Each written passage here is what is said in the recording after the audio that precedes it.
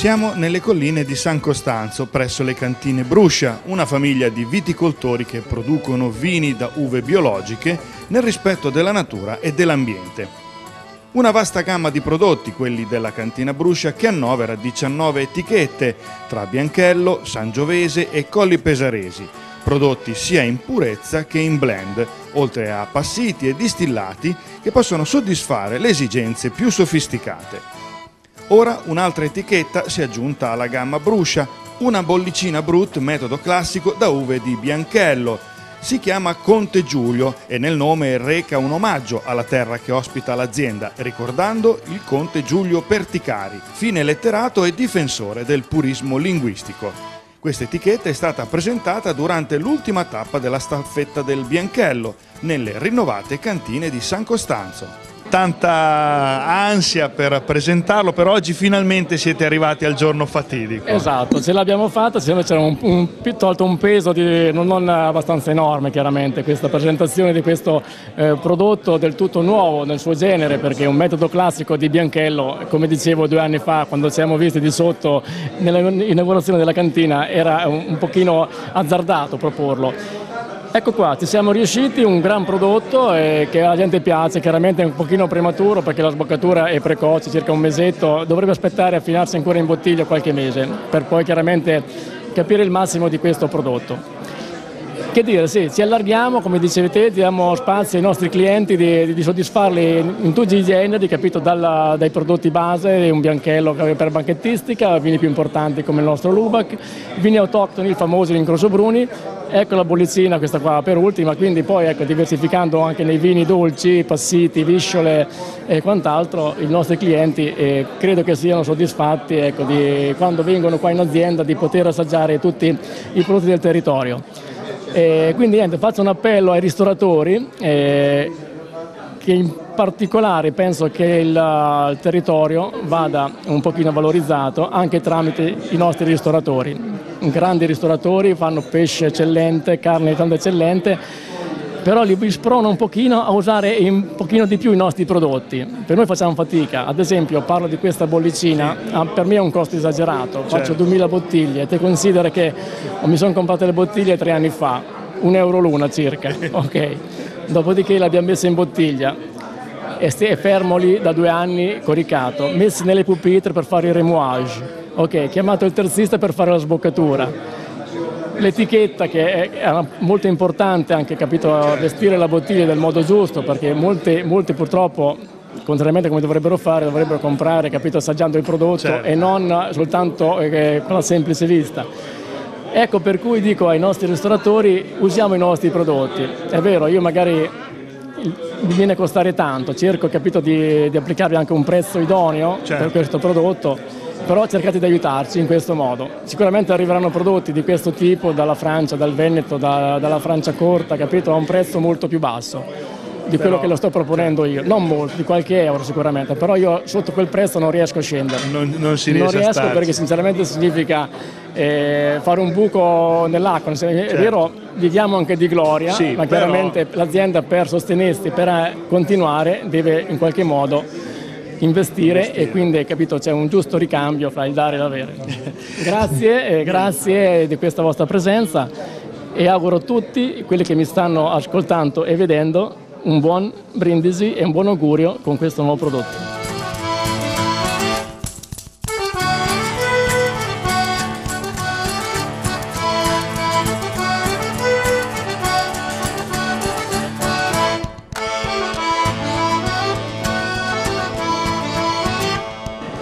Allora, un'azienda che vuole rafforzare il suo legame col territorio anche attraverso i nomi da attribuire ai suoi prodotti. Penso che un esempio più virtuoso di questo non ce ne sia. Sì, stiamo davvero raggiungendo delle punte di eccellenza perché festeggiare con uno spumante che è esattamente quello che ho in mano in questo bel calice il territorio di San Costanzo con uno spumante il cui nome è Conte Giulio Perticari, credo che sia davvero il massimo per un paese, il massimo della soddisfazione, il massimo dell'onore. San Costanzo deve tanto dal punto di vista storico al Conte Giulio Perticari che qui visse ma anche che morì qua a San Costanzo nel nostro bellissimo Palazzo Cassi. Oggi il Conte Giulio viene celebrato e non poteva essere celebrato in altro modo se non che attraverso un fantastico spumante 100% di Bianchello DOC naturalmente perché siamo nell'ambito dell'iniziativa della staffetta del Bianchello, un metodo classico premium e vi posso assicurare un ottimo spumante e ancora una volta quindi la conferma dell'eccellenza che San Costanzo sta raggiungendo davvero sotto tutti i punti di vista e perché no anche dal punto di vista della produzione vitivinicola. Come eh, ho accennato poc'anzi durante la presentazione ufficiale, eh, dobbiamo dare atto all'azienda agricola Bruscia di aver eh, legato eh, diversi prodotti della propria produzione vitivinicola a dei personaggi e a zone ben eh, particolari del territorio di San Costanzo che richiamano la nostra storia, la nostra antica storia di San Costanzo. Per quanto riguarda ehm, lo spumante dedicato al conte Giulio Perticari, del quale abbiamo avuto una anteprima all'inizio di giugno giugno di quest'anno al Teatro della Concordia, l'idea è nata in concomitanza all'organizzazione da parte del Centro Studi Giulio Perticari della Giornata Nazionale di Studi Perticariani. In quell'occasione eh, diciamo, l'azienda agricola Bruscia ha, ha, proposto al nostro centro studi di dedicare una bottiglia a Giulio Perticari che è un po' ehm, diciamo, uno dei massimi rappresentanti della storia non solo locale di San Costanzo ma anche a livello nazionale letteraria dei primi dell'Ottocento.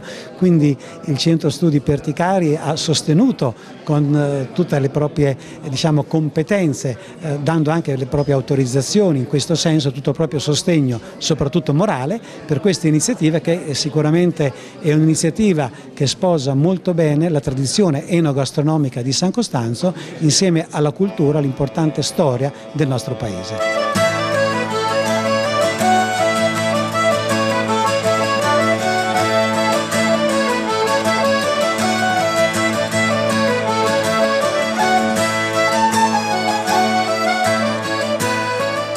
Un tempo si parlava di rischio di impresa, qui invece abbiamo un'impresa che rischia, però io credo che senza rischio e quindi senza eh, ogni tanto gettarsi eh, e andare a sperimentare, andare a provare, andare a curiosare, andare a vedere come la va eh, sia la vera soluzione per superare tutti gli ostacoli che soprattutto in questi ultimi 7-8 anni la crisi ha disteso abbondantemente davanti a tutti coloro che appunto eh, vogliono fare del prodotto, eh, del prodotto di qualità come questa, come questa azienda. È un'azienda che ormai ha già più di 15 etichette diverse, eh, ce ne propone una nuova e beh, stanno rischiando anche in questo caso, però chi rischia fa cultura, sempre. Chi non rischia dorme e prima o poi si addormenta e gli portano via sia il pesce che la canna, secondo me. Oggi ci hanno regalato diciamo, questa anteprima, l'anteprima di uno spumante che dal 2011 il Bianchello può eh, diciamo, avere nelle sue file, quindi lo spumante metodo classico. Questo è un eh, Bianchello spumantizzato benissimo, ovviamente oggi lo sentiremo e, e non è nemmeno diciamo, pronto per il mercato, però loro ci hanno voluto fare questo regalo in occasione della staffetta del Bianchello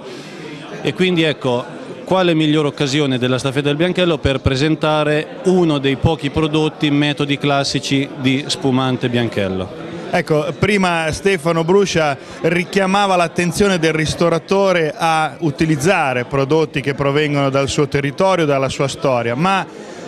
per chi lo conosce il vino e per chi lo deve proporre come voi, qual è la difficoltà di un, di un vino di questa portata? Sinceramente non c'è difficoltà, serve una grande passione alle spalle. Se noi pensiamo ovviamente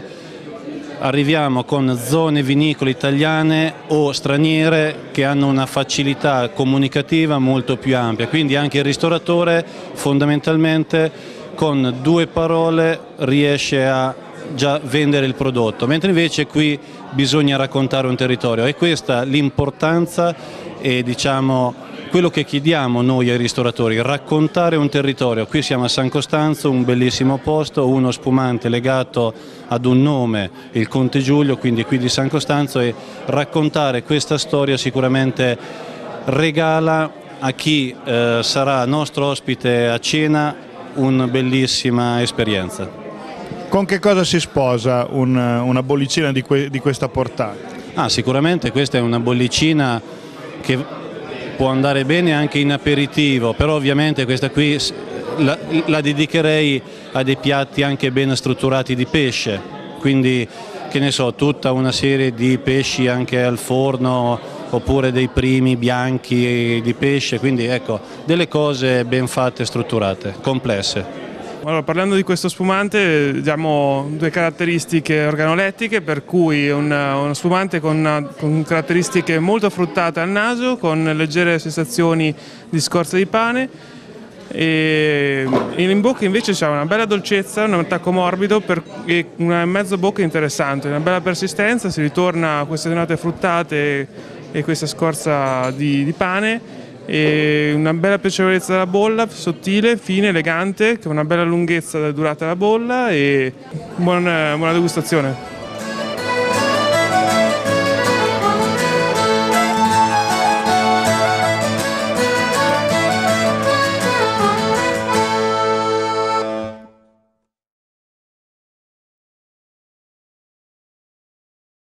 Questo speciale è stato realizzato da conduttori non iscritti all'ordine dei giornalisti.